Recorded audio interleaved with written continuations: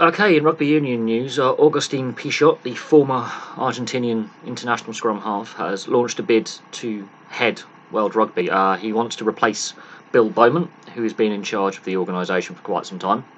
And he has a completely different vision to how rugby should be governed and structured uh, than the current administration. Um, he has concerns about the financial structures and he also wants to have a look at the international game and try and make it a more level playing field to allow those tier 2 nations to become more competitive and to grow the game professionally. Another thing that Pichot is very interested in is player wages. Uh, the top end talent may have to take pay cuts so that more players can reach professional level. Uh, we've already seen the debate with World Rugby wanting to change the international calendar. That's something else that Pichot uh, is very keen on having a look at.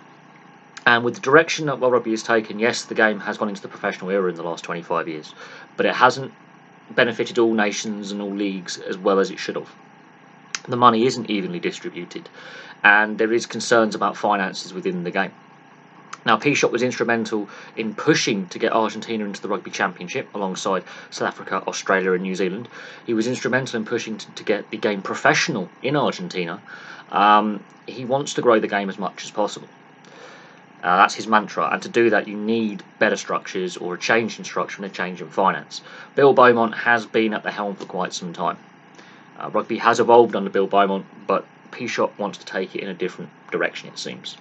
So it'll be interesting to see if he's, you know, when it comes to the election process, whenever it may be because of the coronavirus, uh, if Pichot is successful in becoming the new head of World Rugby, or if Bill Beaumont maintains his position and direction that the sport is currently taking, or if the sport decides to go with Pichot's plan and ideas and takes the sport in a new, more dynamic direction, which may mean top end talent take a slight pay cut in order that more players can actually, as I, as I say, become professional. It'll be very interesting to see what happens in the coming months and possibly a year or so.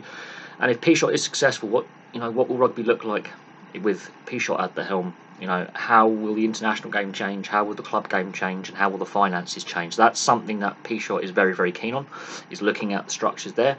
So we'll see what happens, but thank you very much for watching. And for once, we have some positive news on some sport, which isn't coronavirus related. Thank you very much for watching. Please place your thoughts below, and I'll have some more videos for you very, very soon.